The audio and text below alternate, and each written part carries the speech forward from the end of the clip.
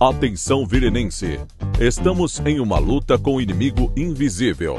O coronavírus está por aí. Então temos que fazer a nossa parte. Ao sair de casa, use sua máscara. Mantenha a distância mínima de 2 metros e evite contato físico. Lave suas mãos e use álcool em gel. O comércio precisa da sua ajuda. As pessoas precisam trabalhar. Todos juntos por uma Vilhena melhor.